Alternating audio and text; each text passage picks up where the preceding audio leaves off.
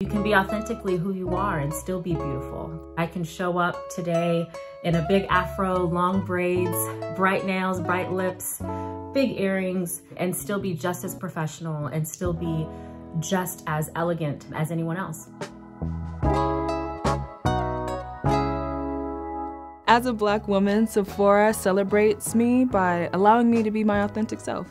Black culture has been at the forefront of everything. We've always made our voices heard and always pushed things to move forward. The culture at Sephora is so diverse. I knew as soon as I got on the floor that I could be myself. Sephora has been a place where I can help people like me feel like they are seen.